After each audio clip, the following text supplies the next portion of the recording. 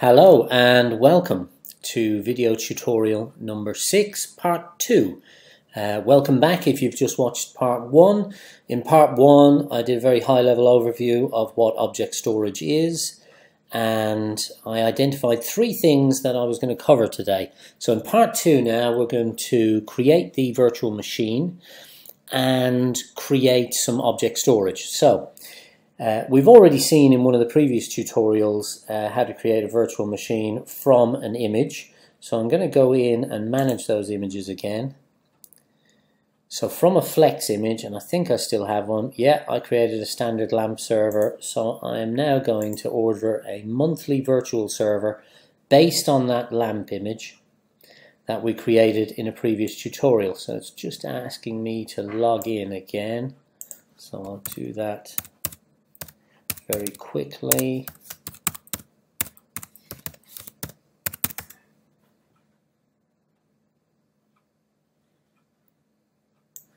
Okay, so here's our order page.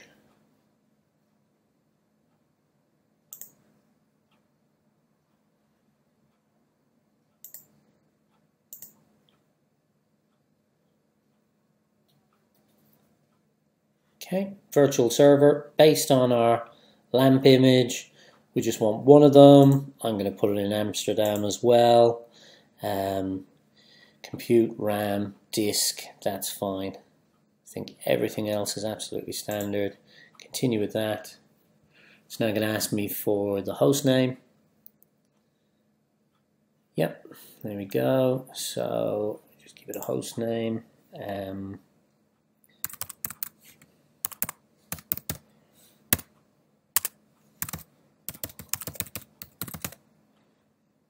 That's it. Terms, order. Hopefully I've got that right and that will create a virtual server for us. There's our receipt. Excellent. I've just had the email through telling me that I've now ordered that and if we go to our device list possibly do a refresh again we should see, there it is. So that's fine. So we now have a virtual machine being created. While that's being created, let's order some object storage as well. So here are all the uh, data centers available from um, SoftLayer. So I already have some uh, object storage in Amsterdam, I believe. Yeah, I have some WebSphere application server files in there. Uh, so what we're going to do is I'm going to go back to object storage and we're going to create a brand new object storage instance in, yeah, let's choose Dallas, why not? So Dal 05 is the cluster. We've got none there at the moment, so let's just add a container. It's that simple. Uh, let's call this uh, tutorial 6. There it is. It is that simple. That's our object storage. It's there. Um, we can go in and have a look at that. There's no content. We can add some files to that. So I could uh, select some files from my local hard drive. Um, so let me go to downloads. What have I got in here? Um, oh, I've got the CyberDuck image, yeah? I open that. I'll add that file.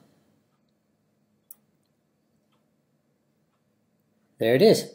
It's now in our object storage. So we've put a simple CyberDuck icon uh, image file that I had in my downloads area onto our object storage and our device will be ready pretty quickly.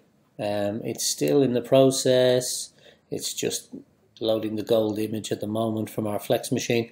So that'll be absolutely fine. Once that's up and running, so I'm going to pause the video here. I'm going to pick it up from when we can actually log on to Sesify 3 and then I'm going to cover the first part of linking our object storage to our virtual machine using CloudFuse. Thanks very much.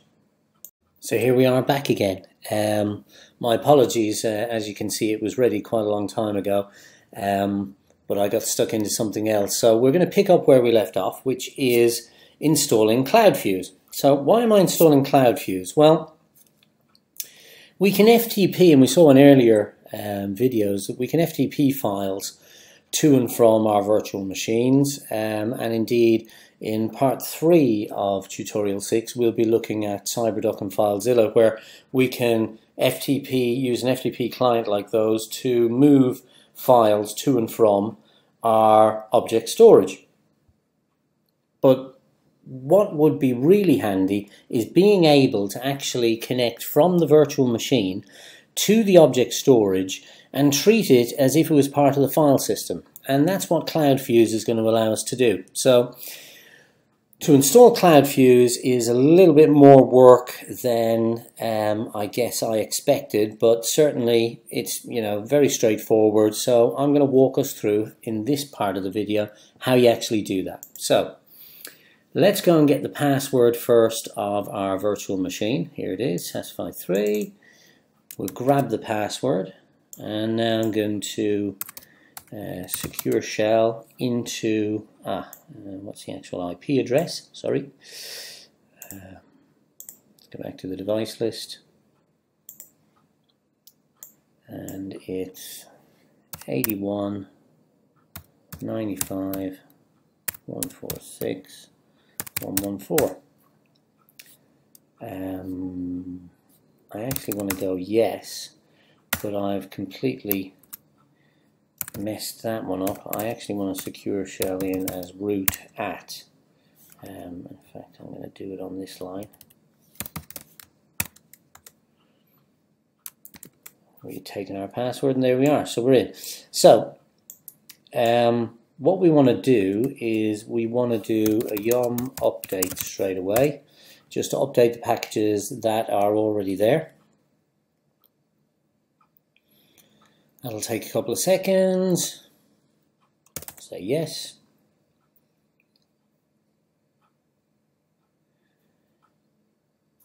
Now, once that's all updated, we're going to install wget. Um, and wget is a way of requesting packages from the web. Um, and we're going to need that because we're going to need to link to GitHub and get the CloudFuse uh, tarball so that then we can actually install it. So we're going to yum um, install wget.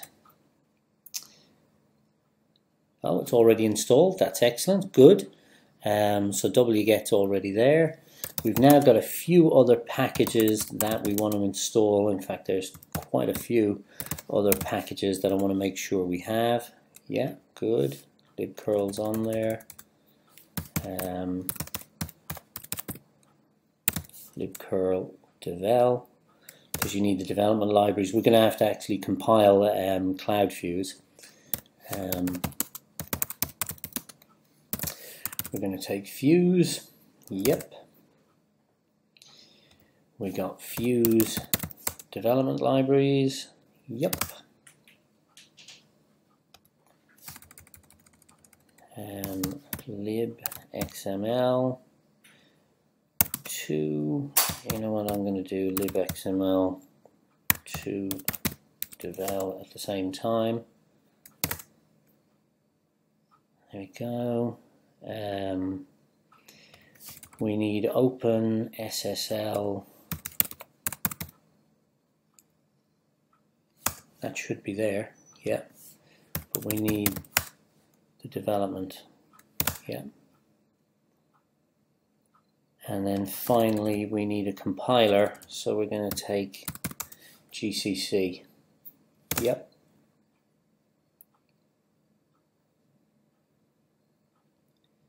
and just for safety's sake I'm going to do a clean of all of this and I'm going to do a yum update which should have no updates. Good, yeah, that's absolutely fine. Um, so that's okay, I'm in root. Yeah, that'll be fine.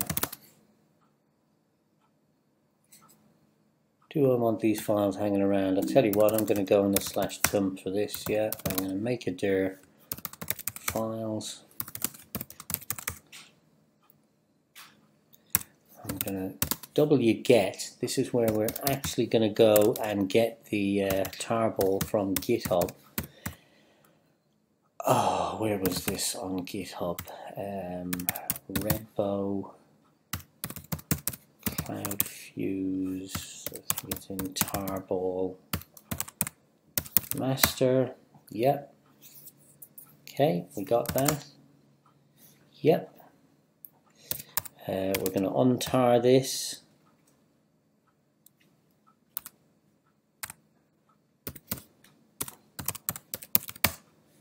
Okay. CD into Redbo. And there's a whole lot of files in there. So hopefully, if we've got the right packages now, we can go configure. And we won't get any errors. Fingers crossed. Good. That all looks good. Let's have a quick look. Yeah, that all looks good. Okay, now we can make it. Excellent. And now we can install it. Excellent. Good. That all worked fine. Um, now we want to go back into the root directory, so we're there, cd slash. Um, I now need to put in the actual username and uh, the API key into a CloudFuse file called .cloudfuse, which will hold that information so that then we can actually uh, mount the um, the object storage as if it was a local file system. So I'm going to echo uh, username. So we now want to go back to our object storage.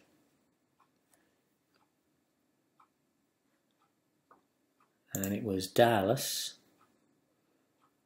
There it is, tutorial 6. If we view the credentials of this, um, our username is this. So now I'll bring back up our terminal. So that's our username.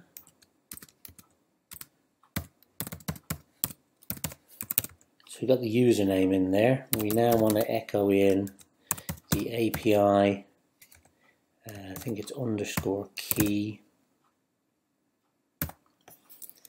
Again, we go back in here, what was the API key, and take that in.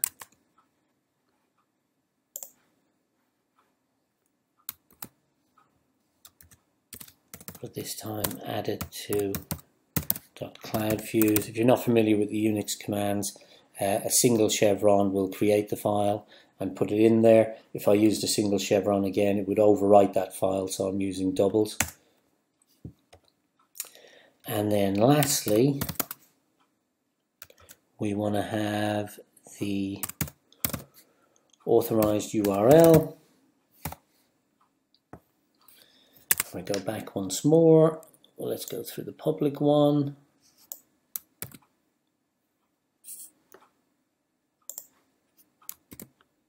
Okay. And put that in cloud CloudFuse also. Let's have a look at cloud CloudFuse. There it is. That all looks good.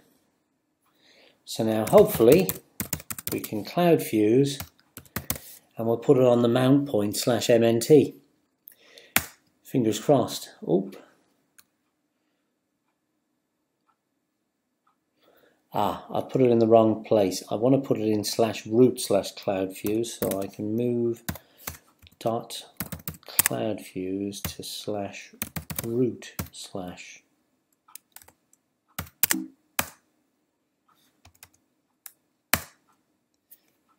Excellent. I have a look at the mount, and there it is.